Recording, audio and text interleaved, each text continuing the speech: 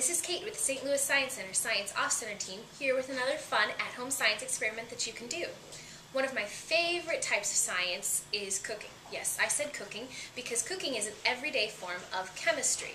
Now when you do a science experiment, generally you're testing one difference in a control. So we have a control and then we have a variable. Today our variable is going to be baking soda. Baking soda, when you mix it with vinegar, as we know, creates CO2. It's a rising ingredient. It creates a gas and it helps something to rise. Well, I have two cake mixes here. To one, I'm going to add baking soda, and the other, I'm not. Both of the mixtures are the same, except for our variable, the baking soda. I'm going to mix this in, put it in some cupcake pans, cook it for a little while, and then we will see the results.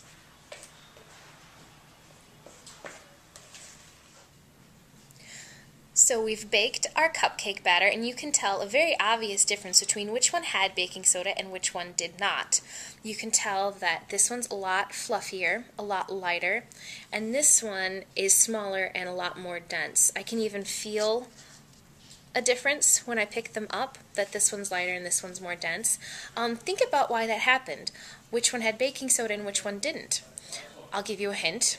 This lighter one was the one that had our variable, our baking soda in it. Um, so try this experiment at home. Let us know how it goes. Maybe instead of baking soda, use baking powder.